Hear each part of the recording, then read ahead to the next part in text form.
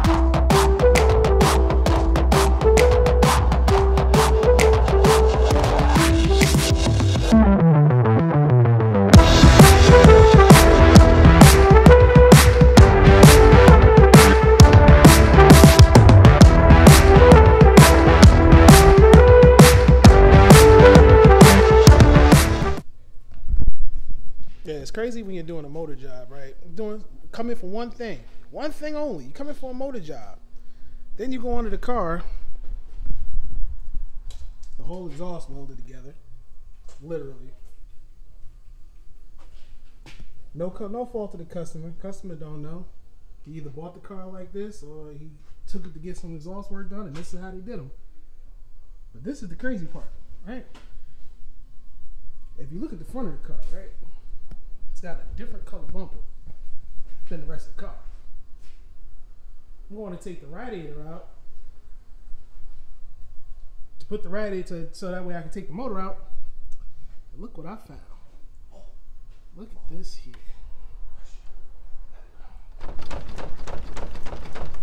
The radiator is not attached to the rest of the car, people. Look at this. Ain't this wonderful? Yeah, that's what's supposed to be holding your radiator and your AC condenser. I figured y'all get a kick out of that. So we gotta call the customer and let him know. he need a front end radiator support because uh, eventually he's gonna be driving this and hit another pothole and the whole radiator gonna fall out. But I figured y'all find that funny.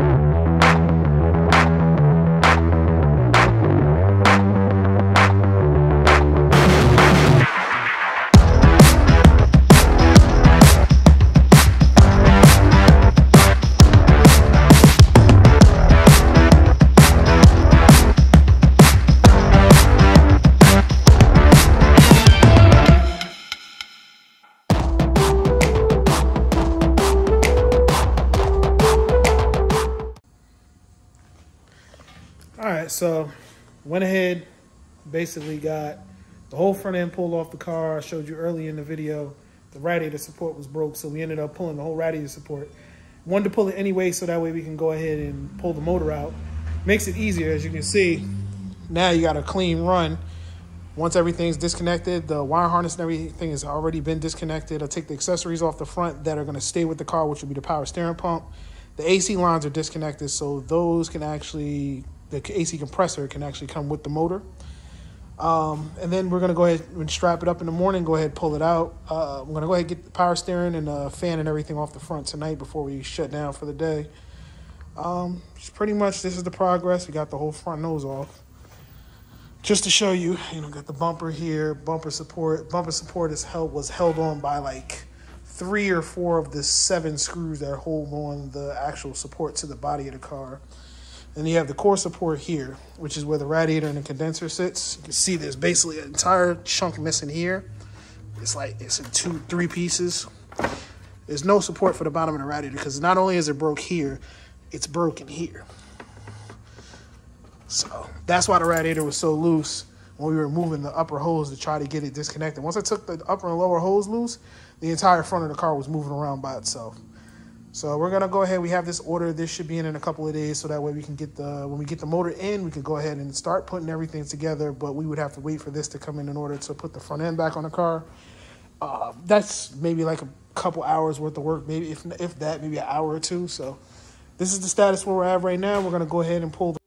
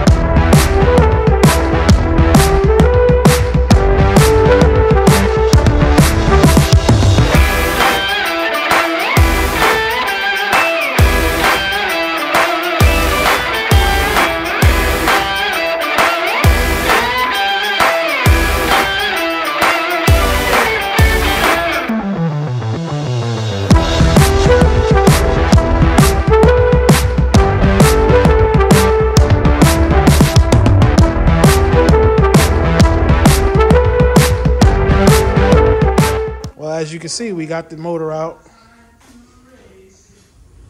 We got the motor out. This this cruddy thing was leaking from every single gasket it could possibly leak from.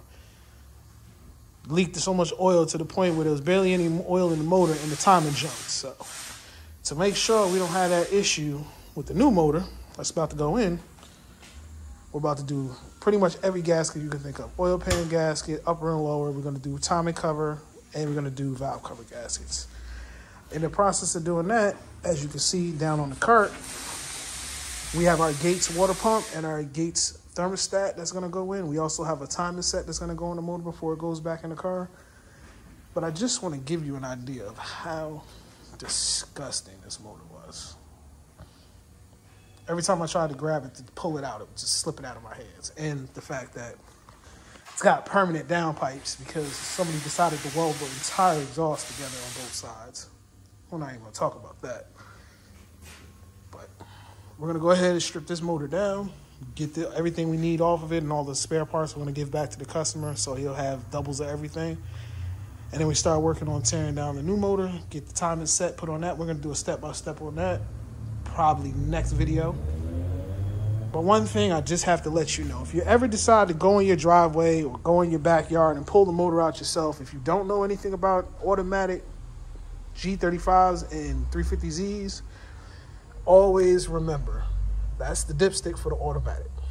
That one 10 millimeter bolt right there, always remember to pull that bolt out before you try to pull the motor. Because you'll be pulling on the motor, the trans, the drive shaft, and everything else, like I was, because I forgot about it. So that's just a little tip for you. We're gonna go ahead and try to clean this engine bay up just a little bit before we stab the new motor in too, because this is just shows you how much oil was leaking over the course of this motor committing suicide. But see, we got her out. We're gonna go ahead and tear down the other motor, get all the coils and everything off that we need, AC compressor and stuff of that nature. And then we're gonna go ahead and show you a step-by-step next video of how to tear that G35 motor down, install a timing chain, water pump, and thermostat. Put it back together, seal it all up, and get it ready to go back in the car. So, welcome back to the channel. Today, we're gonna show you how to tear down a G35 VQ engine, how to pull the front cover, pull the oil pans correctly so that way you don't break anything. Go ahead, do the timing chain, water pump, thermostat, and the tensioner on this. Check the guides, make sure all of that is good before we put the motor back in. And basically just get it prepped and ready to go so that way we can go ahead tomorrow and put the motor back in the car. Now, I don't know if the build series of the build of the motor and also the installation is going to be in the same video or if it's going to be in the next video. But we got, minus the coffee, we got all the parts ready to go in. We got our thermostat, we got our Gates water pump, we got plugs, oil filter, belts. I'm waiting on the tensioners and the sealer for the oil pans and the gaskets to show up. Go ahead and show you all the good stuff for it. So we're about to go ahead and start tearing this down. We're gonna do a time lapse of just getting all the accessories and all the hoses and wire harness and everything off of it. Then we're gonna slow it down and do a step by step of how to pull the timing cover, the oil pans, lower and upper, and uh, getting to the timing components. This is just a little little trick. If you're dealing with a motor, especially a used motor from a junkyard, if you got anything exposed, exhaust manifolds, intake manifold, anything off of the motor, but you're still dealing with like old crusty wiring and harnesses and nuts and bolts and screws, anything that you could possibly drop in the motor, take two seconds. Get some rags or get some shop towels or something, stick it in each of these intake ports. So that way when you go to start the motor up after you put all that time and all that money into putting it together, and you start hearing and all types of noises because you done dropped a 10 millimeter bolt, a screw or acorn inside the motor and then chewed it up and destroyed something. Take two seconds, save yourself a motor. Eh, just a little tech tip. All right, pretty much we got it stripped down to the point where we're ready to take the valve covers off and the front timing cover. But to take the front timing cover off, we're gonna have to pull the oil pan, the upper and the lower in order to get it off. So basically what we're gonna do is we're gonna bolt the manifolds back on the car. I'm sorry, bolt the manifolds back on the motor. Lift that up onto the engine hoist so that way we get access to the oil pan. Take both the lower and the upper oil pan off so that way we get access to the four bolts that go into the bottom of the timing cover. If those four bolts weren't there, Otherwise, you'll be able to pull the timing cover off by just taking all those tins off surrounding the outside of the motor. But of course, they want to put four bolts inside of an oil pan, inside of another oil pan. But we're going to go ahead, we're going to get it up in the air, get it taken apart so that way we can access the chain and see what's going on in there and go ahead and get the water pump and the timing chain tensioner changed out. All right, we got the valve covers off. Gonna drop those in the hot tank, get them cleaned up. Getting ready to pull the timing cover off. But before we do that, we got to get the motor up in the air in order to pull the oil pan and to pull the lower and upper oil pan. So to do that, we're to bolt the manifolds back on first before we go ahead and take the oil pan off so that way we can strap it up Put it on the engine hoist, lift it up, so that way we can get it off this milk crate. Put manifolds on. I always seem to like to use either this right here that we get from Stainless Works or use the orange Permatex from the Permatex company. Put it around the ports before you put the manifolds on so that way it ensures that you don't get any leaks once the manifolds start to expand and contract. It basically takes up all the little imperfections in the manifold before you tighten it down so that way when you do tighten it down, as you drive it, it doesn't create uh, exhaust leaks and make exhaust noise, which sounds horrible on a VQ or really on any car. So we're gonna go ahead and get these manifolds slapped on, and then once we do that, we're gonna go ahead and strap it up in the air so we can get the oil pans off and start taking the time to come off.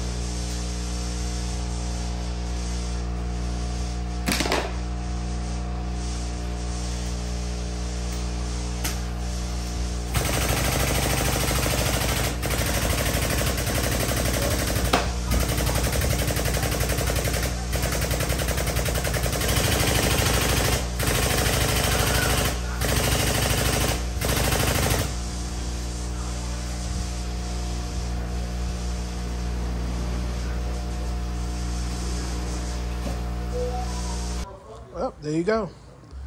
Got the water pump timer chain back installed. About to put a thermostat on in the morning. Unfortunately, they sold me the wrong thermostat. It goes right there. We got our valve cover gaskets done. We got plugs. Got our coils back in. Pretty much got it buttoned up to go back in in the morning.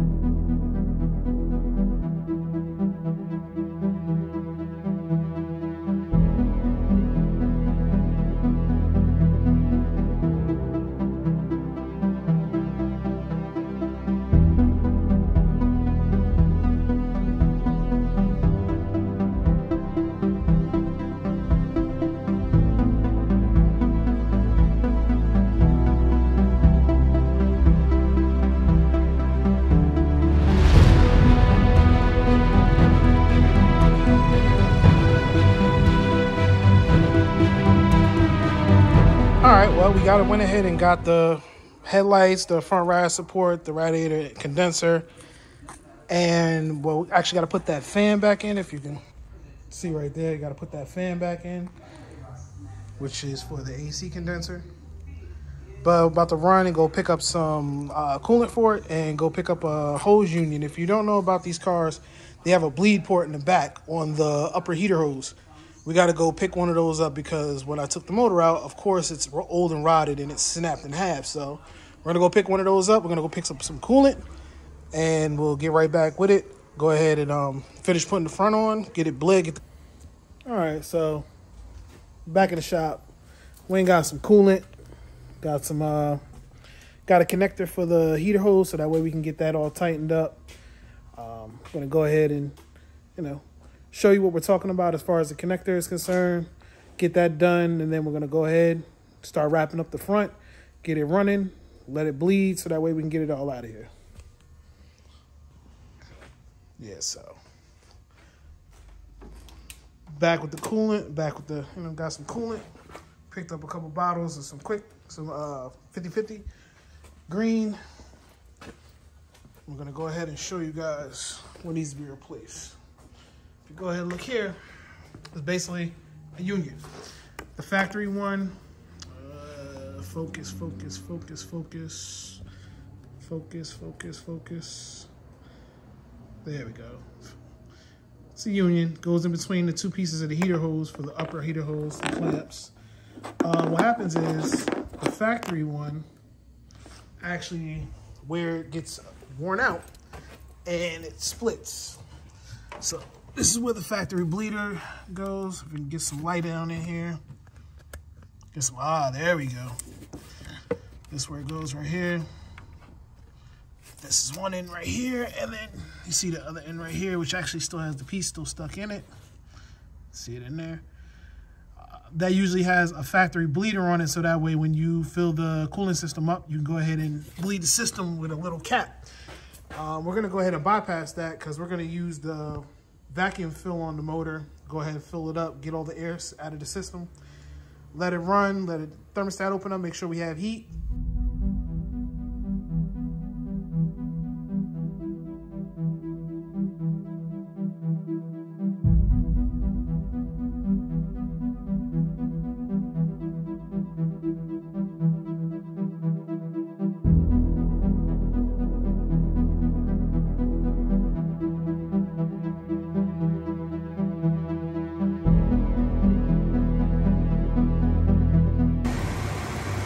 Here we go. Got the cooling system all bled on it. Got the front end put back on. Headlights, bumper, rad support, AC charged, ready to go.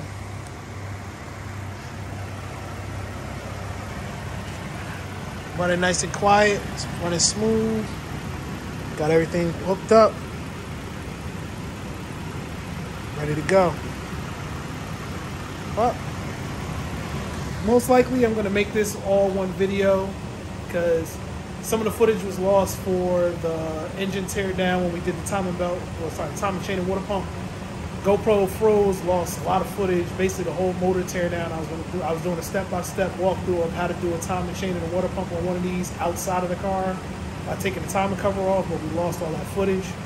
So, I mean, probably gonna end up putting this all together as one engine job video, so that way I can get it out to you guys. So, thank you for subscribing, tuning in.